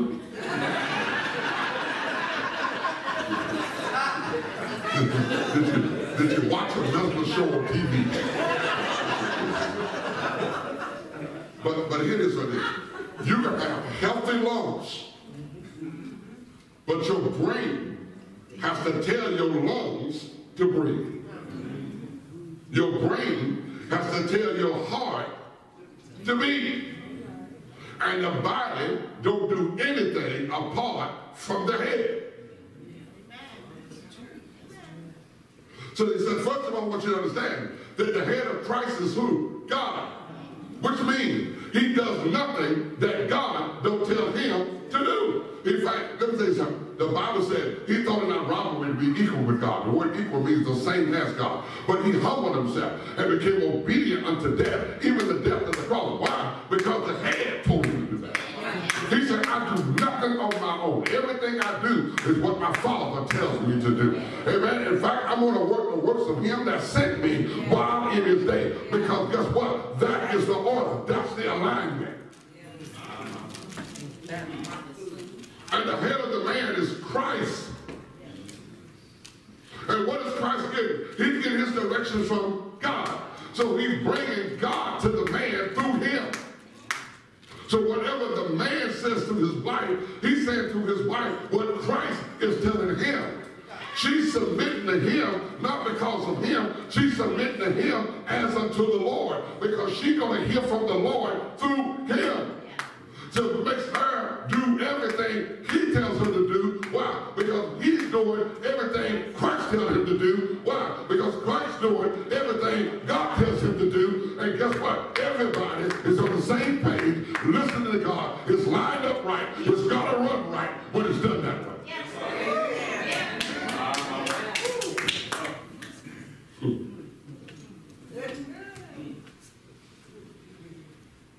So what does the husband do? The husband has one responsibility. The responsibility you have is to bring Christ's agenda to your house. Every man in here ought to be saying to your wife, honey, I've been with the Lord, and this is what the Lord said to do. This is what the Lord said me to do with these kids. This is what the Lord said me to do with this relationship. This is what the Lord said. Every woman is so eager, eager to hear from God through her man that she's running everything by her man and saying, you run it by God and see how God feels about this?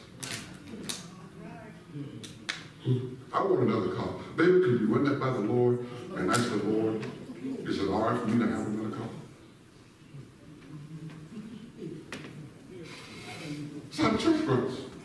Everything you hear is what? From the preacher. So what everybody in the church going to be doing? Actually, the preacher, what does God say about this? Well, What is God saying to the deacon ministry? well. Pastor, can you tell us what God is saying? Will God not pleased with this? See, we talk Christianity. We just don't live it. We don't. So every man in my church now is required to do a vision statement. You don't give a church man. You need to give a vision statement to your wife from God. You have been with the Lord. Should cover every area of your life. You don't think God will tell you? I said, he didn't have a degree in zoology. He was able to name all that. Adam didn't go to Morehouse. He named every one of the animals, and the animals fit whatever God said. God knows what he has for the whole family. He knows it better than you do. See, every woman to be pushing your husband, baby, have you heard from God? Baby, have you heard from God? Every woman in here ought to be praying for your husband that he gets closer to God. Don't worry about getting closer to you. If he gets closer to God, getting closer to you is a benefit. Benefit is going to be when you can get him closer to God. Let me give him books on 55 ways how to treat your wife. Now, get him books on how to walk with God, how to be a man of God, how to pray, how to stay close to God. Those are the things he needs to know that will bring him closer to you. If you can develop spiritual intimacy, Spiritual intimacy would give you emotional intimacy. Emotional intimacy would lead into body intimacy. So you know how to be intimate with me physically, when you know how to be intimate with me emotionally, and you can't be intimate with me emotionally if you're not intimate with me spiritually. So you got to get what you need, that I need from God, and give that to me. That's what God is telling you to do.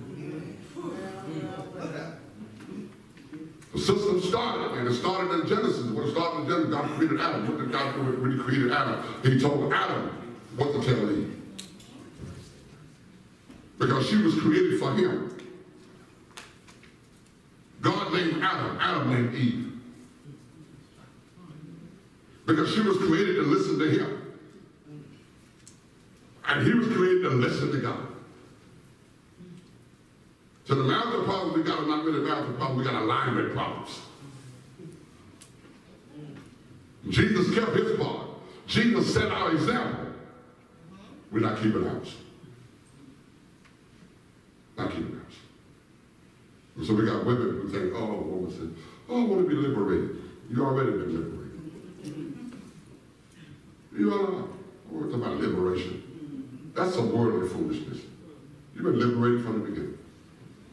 Galatians 3.28 liberates y'all. Where God said there is no difference between male and female. God said. If God said there is no difference between male and female, who are you going to listen to? Who are you going to listen to? It's an assignment. It's his image needs to be seen in this house. And his likeness need to be carried out in this house.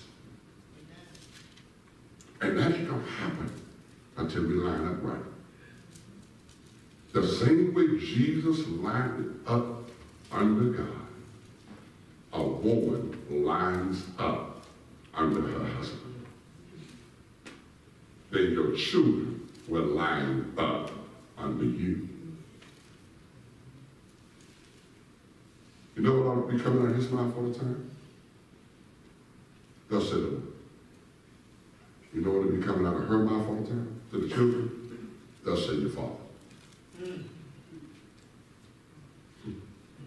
She only says what he says. He only says what Christ says. Christ only says what God says. That's still a. Then the blessings flow down. And it ends up, everybody gets better connected to him. We do. That's the way it sets up. So alignment, assignment. Let me give you one more and I'll leave you alone. Has anybody learned anything tonight? Yes. It's a quiet meeting. So Father, I need you to I need you to help me to understand my assignment. Help me to get my house lined up right. Then the, the last one's called alliance. See, what you want to do, you want you and your wife to be allies and not enemies. You're allies. You're not enemies. And that's very important because, see, to keep that thing operating under Christ, God has ordered a man to make sure that the alliance is there. So at 1 Peter 3 7, he gives us a, he gives us a, a formula for that.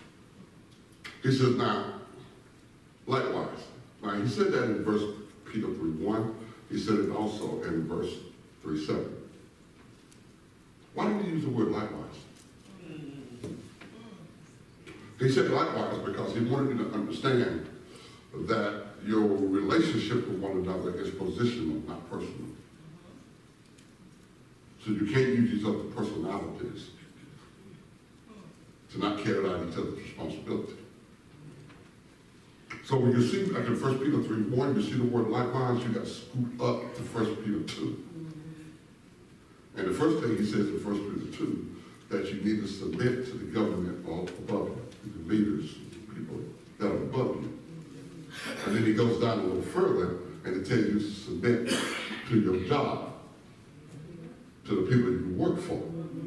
Now, if the people in government, are they all Christians? But you submit to them. If the people that work on your job, are they all Christians? But you submit to. Then he came back to the women and said, now, likewise. and why did you submit to them? Because of their position.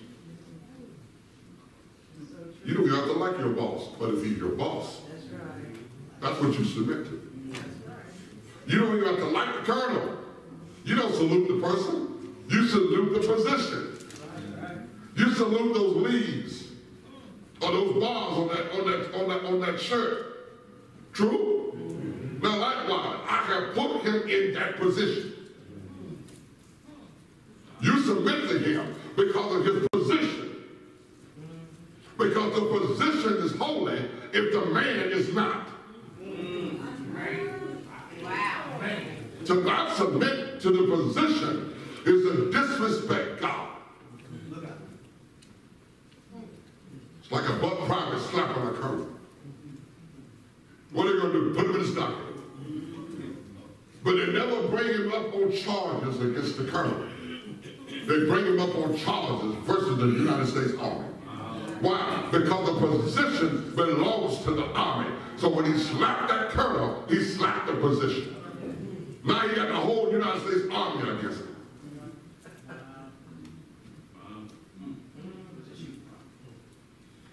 Likewise. Me say this, I, I gotta go. Husbands, husbands, husbands, this. You gotta make sure that she's in alliance. You gotta make sure. So three C's in that one verse. The one is called consideration. Now you husband, the Bible says, dwell with them according to knowledge. You know what the word dwell means? Hmm? Be intimate with them. Be intimate with her. That means, that means, keep working her inside. Keep courting her. Keep kissing her. Keep showing her affection. You need to be intimate with her. See, the word dwell is an inside term. It was used of the Holy Spirit that live inside us. And that's what marriage is. See, marriage is not an image relationship. It's not a relationship that's external. It's a relationship that's internal. So marriage is how you make me feel on that inside. Because if you stop messing with my inside, then I'm not going to feel married to you. So it's up to you to keep liking her. Because the only reason why you got her, because you knew what to say to her and what to do, that mess with her on the inside. And she said, I didn't like him at first, but he just kept talking.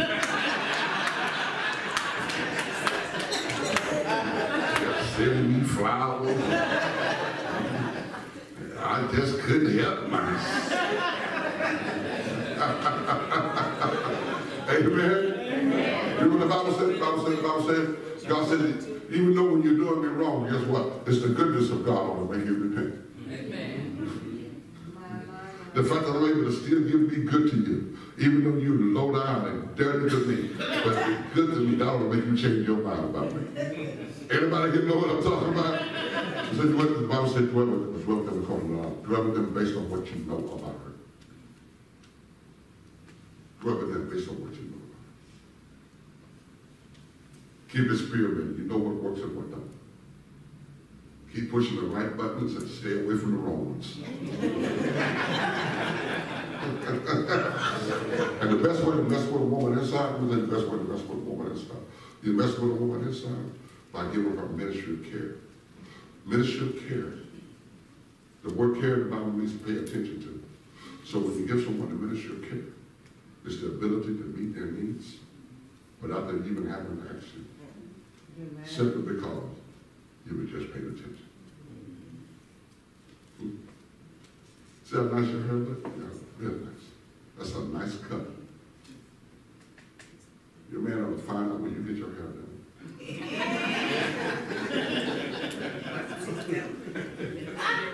Call your beautician.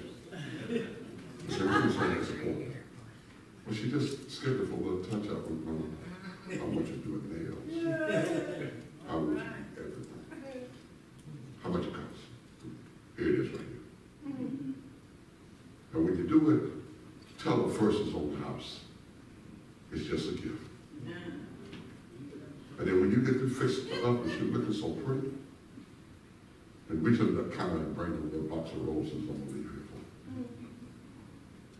for. I said it's from your husband, just because I love you. What do you think she gonna do?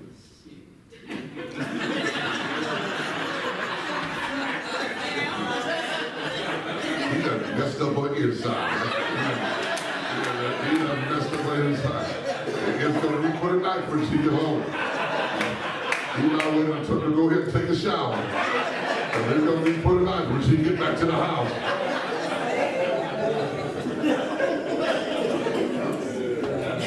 If we keep doing little vicious pinpoint, because you want to mess with the inside.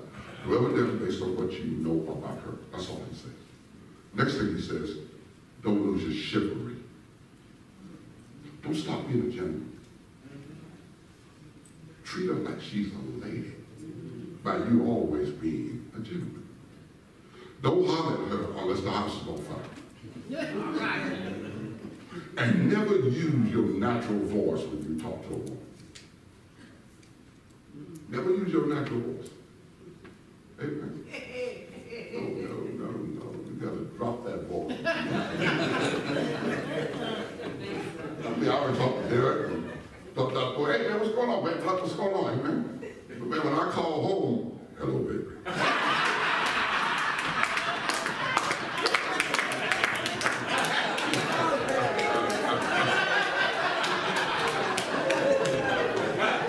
And you really want to mess it up, drop it so deep that they can't understand what you're saying.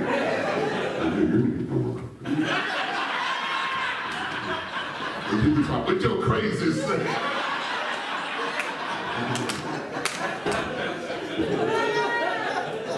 Because when you when you get in women are tone sensitive. They don't respond to what you say, they respond to how you say it. You do with a woman, you got to give her in the right tone. You got to put that deep voice in there. Amen? You say, like, hey, you can't talk to her like that. You can't even talk to a man like that. You better change that hand and drop that voice. Very important. Chivalry means giving honor to the wife. The Bible says give honor to the wife. The word giving honor to the wife is to prefer her over you. But you know what God made a man to do? He made a man to be your servant. Because that's how you lead her. You lead her by how well you serve her. You don't lead her by bossing her. The Bible said if you want to be a leader, become a servant.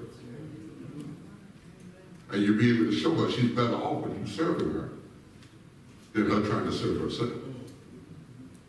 Every man in here want to make a, I want to be an enabler. Enabler simply means that you want to make her life better. I'm serving you because I want to make your life better. Amen? Amen. Better. And you get that ministry over to her, oh my God. Oh my God. Amen. That's a, a tremendous blessing. Amen. That's a tremendous blessing. And so you got to understand, you got to understand how that works. So you got to prefer her over you. But the Bible says, treat her as a weaker vessel. Now that's kind of strange to look at. Is a woman really a weaker vessel? What is he really talking about when he says a weaker vessel? Well, physically, most women are weaker. And the reason why you're weaker than a man is because of your makeup. Men were made from dirt, you were made from flesh. In the Hebrew, a man's name is Ish, I-S-H. A woman's name is Isha. And you know what the word Isha means? It means feminine. It means soft. What makes you feminine is your soft. And a man likes to feel a woman. That's soft. See, y'all stay in the gym too long. Stay in the gym too long.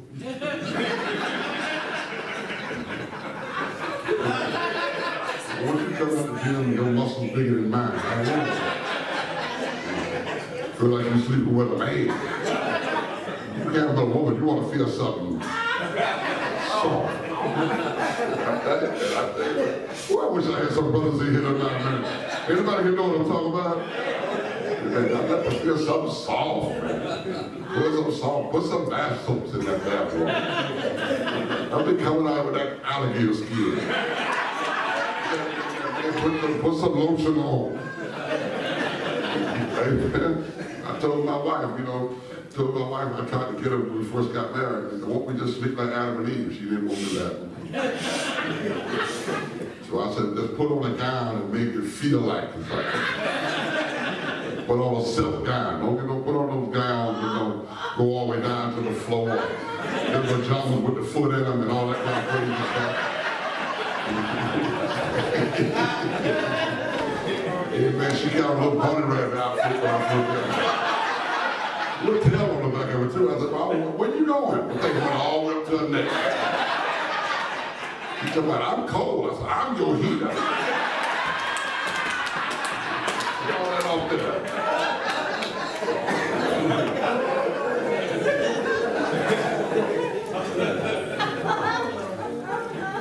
are not necessarily weaker emotionally because they can process things much better than we can.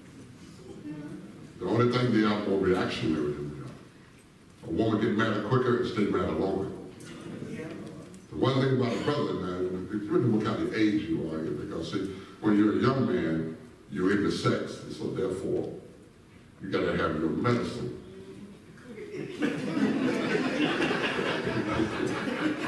young women, young women want intimacy. They don't want, they can be saying stuff like, why can't you not all that? Why can't you just hold me? Why can't we just snuggle? Yeah, right. but when you get over 50 and over 60, and your body changes on you, now you the one saying, why can't we just hold each other?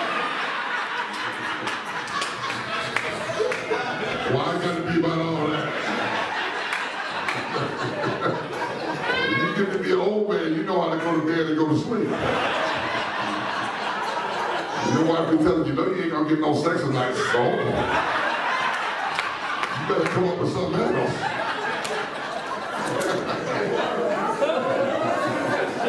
and if we think you get a little bit frisky and we know we ain't quite ready,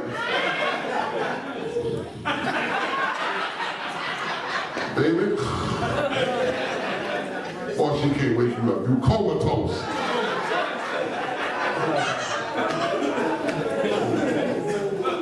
The word wicked vessel, the Bible says treat her like she's a wicked vessel. The word wicked vessel is actually a Greek phrase. It's a Greek phrase from where you get the word anesteterio. Anesteterio is actually a medical term. It's where you get the word anesthetic. And why did they give you an anesthetic? They give you an anesthetic so you won't feel pain. So what do you want in a marriage? What is your relationship to a woman? You are to be her anesthetic. You ought to see to it that she don't feel pain. Even when she's hurting, being with you takes the pain out. If I could just lay in your arms, these people on this job give them my last nerve. And you said, that's all right, baby, it's coming in right. I got you. I'm your anesthetic. I'm finna get rid of all of this pain.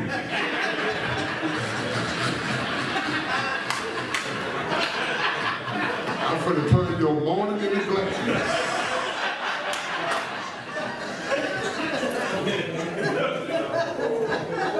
Here's the last thing is I'll leave you on tonight. Tomorrow, we're gonna let you go with friendship. But tonight I to leave you with this. Heirs together of the grace of life. He's telling you, she's going to be more connected to you if you be intimate with her. If you prefer her over you, if you be her anesthetic, now you got to be her as a companion. Because God says, I'm not going to bless your marriage unless she comes with you. It means heirs together. It means that whatever I got from the pool household, you're not going to get it unless you two are together.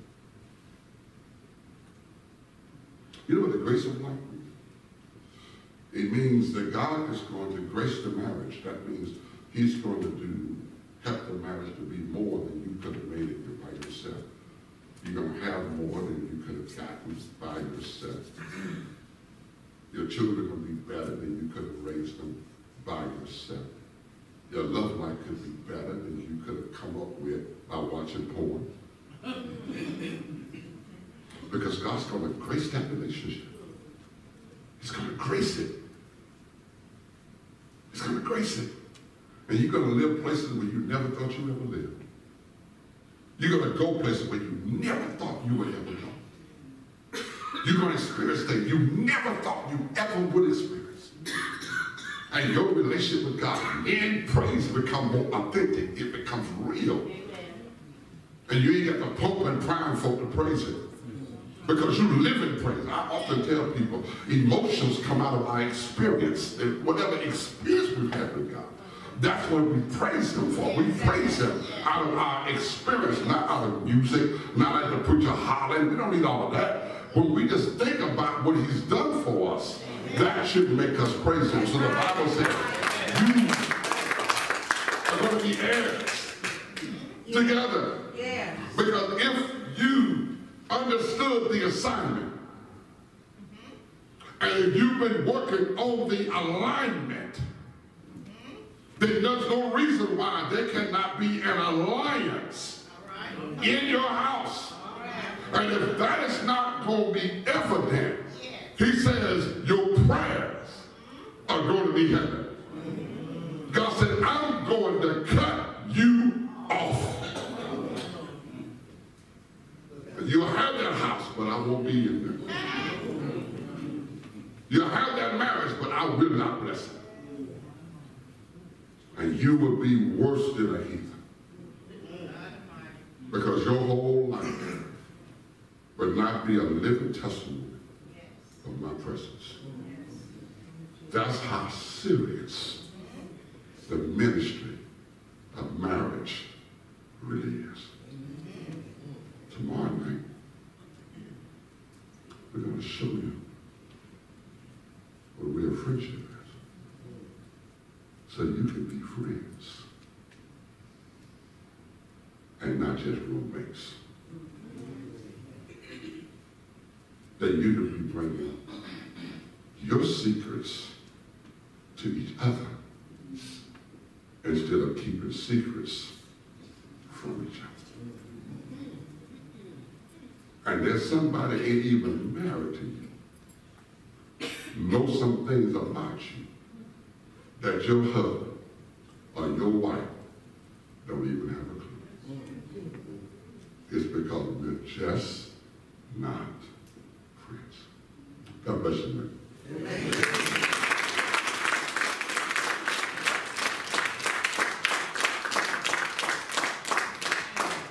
Amen. Amen. Let's give God another hand clap. for praise.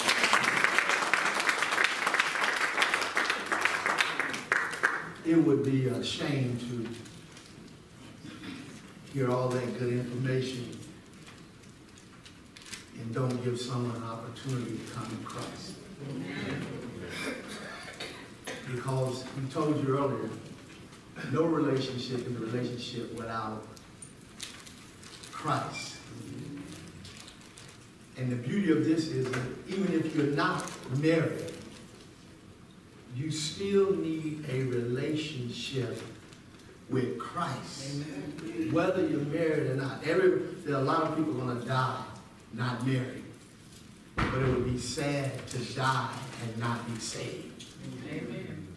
So we want to make sure that we give everybody and anybody that don't know Jesus as your personal Lord and Savior, we're going to give you an opportunity to get married to Christ. Mm-hmm. Amen? And all you have to do is confess with your mouth and believe in your heart that Christ died, God raised him from the dead, and the text says you shall be saved. And shall is an auxiliary word for will. So that means you will be saved the moment that you confess with your mouth and believe in your heart. So that means you don't have to wait till tomorrow. The moment you confess it, you are saved. When you look at the scriptures, I believe Ephesians 4.30 says, and uh, it, it tells you to don't quench that Holy Spirit. And it tells you that you will be sealed until the day of redemption. Now you need to know what the day of redemption is. When he's saying the day of redemption, he's not talking at this time about your spirit.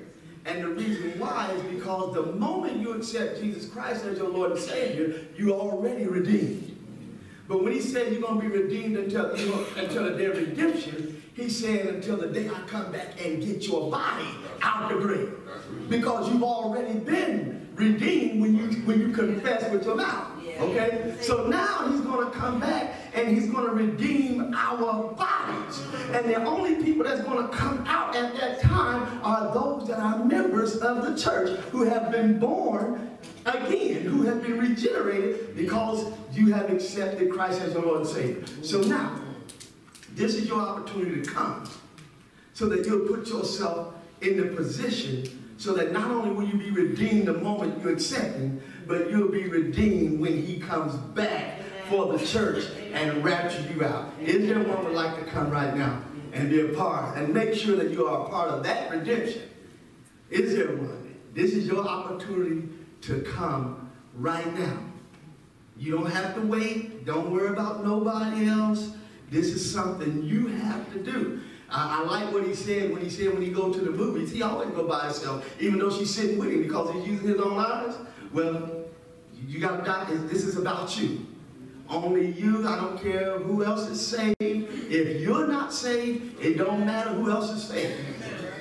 You got to get saved. So if mama's saved and daddy's saved and Sally is saved, but if you're not saved, that's the one you have to worry about, you. And that's an individual thing. Nobody can die for nobody. Nobody can save nobody.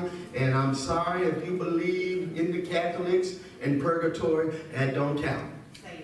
Can't nobody pray you in heaven. They can't do it.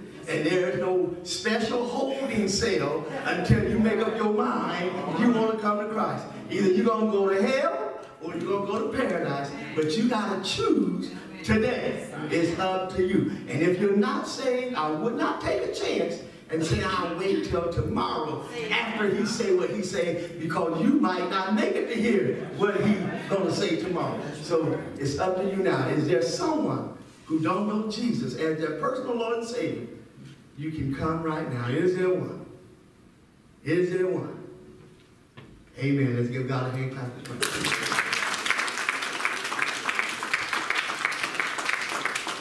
Couple things before we leave. Uh, we want to be a blessing uh, to Dr. Blount when the deacons to come, and we want to share uh, tangible way. But we know we can't pay for this kind of information.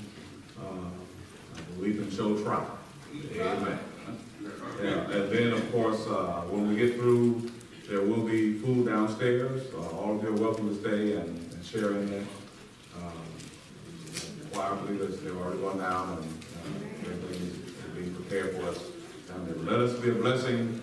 Um, and deacons, you can kind of give us direction on that. If you want both sides to stand, start at the rear, come around.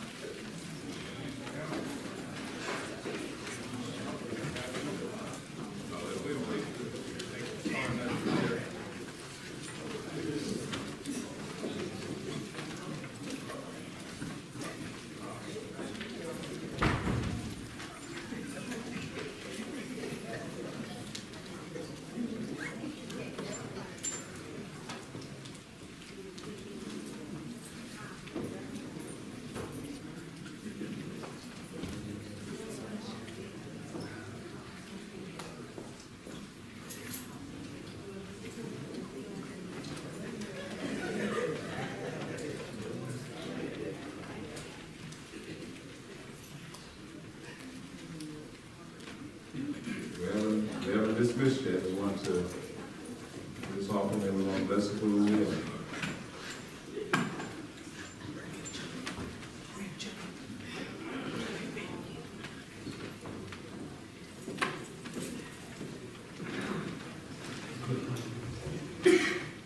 I would, I, know I'm not a, a member here, but, but me and Derek, we brothers.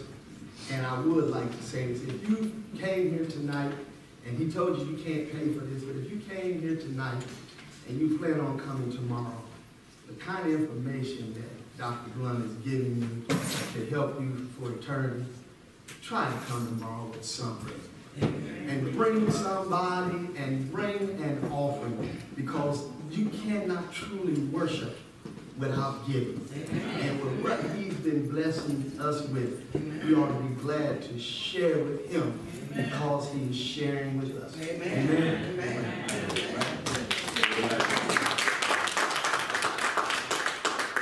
Let me pray, please. Heavenly Father, I just want to thank you for the word we've heard, and ask the Holy Spirit to help us to apply, over it to our daily walk. Lord, we actually bless us upon this offering, may be used for the uplifting of your holy name. In Jesus' name we pray. Okay, we want to have uh, Dr. Blount come and give the final words and, and then bless the food. And then we'll, for those who want to stay, uh, go downstairs and enjoy some fellowship with us. Amen. Amen. Bring some cookies.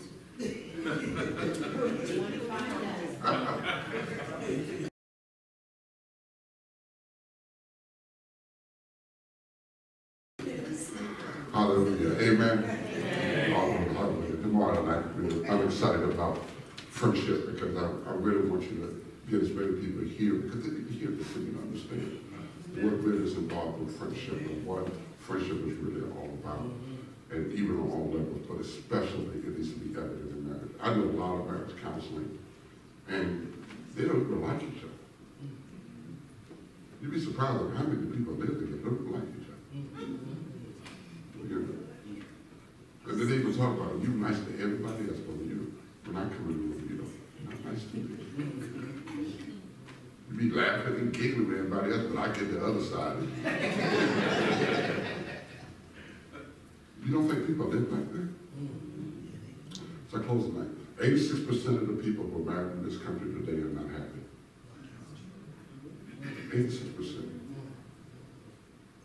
And the latest statistics say that eighty-eight percent of the people who are married in this country have the same disease. And you know what that disease is? Boredom. We're just bored being with you. We need to spice it up. We need to be friends. And when we can be friends, we can be intimate. That's what we want to teach you tomorrow night. How many of y'all want to hear that? Amen. Amen. How many of y'all want that? Let's all stand. God, we're so gracious for, for this time of friendship and fellowship. Let us share one with the other and be thankful so much for the food that has been prepared for us, for the hands that have that prepared it. And we pray, Lord, as we eat and fellowship with one another, that our bodies be nourished, our spirits be rekindled. And Lord, we pray for this meeting. We pray for all that you will want done. We seek your agenda, invoke your presence. Let us go home safely to our homes and our destinations. Put our mind in this place. Help us to share with people that are not here tonight. And Lord, whatever that happens tomorrow night, we want to be able to say that this was the Lord's doing. And it is marvelous in all of our eyes. It is in Jesus' name we pray. Amen. Good night.